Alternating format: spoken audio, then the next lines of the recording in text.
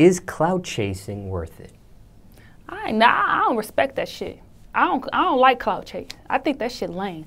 I'm gonna tell you like that. I think it's lame. I think a motherfucker needs something better to do. I feel like if, if a person that has clout themselves, they'll they'll understand it. They'll understand they don't like that shit. Don't don't try to come I work hard for where I'm at.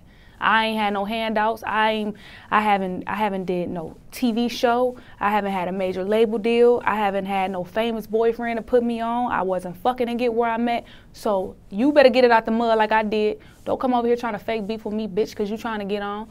Because that's when you get smacked. Period. You get smacked for shit like that. I don't like that. I hate clout chasing. I don't respect them hoes or niggas. Them hoe niggas. Hoe bitch niggas. I don't respect it. I don't like it. Can a rapper, though, be successful from clout chasing? Eh, fake successful.